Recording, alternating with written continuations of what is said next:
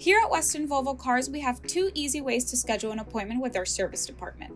One, just give us a call. Anyone that answers the phone can set you up with an appointment and will happily get your vehicle taken care of.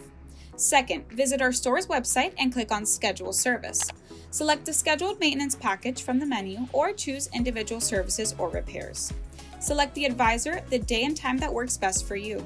We'll send you a confirmation email and reminders. Enjoy 24 7 access from a desktop computer, tablet, or smartphone. If you have any more questions, please don't hesitate to give us a call here at Weston Volvo Cars.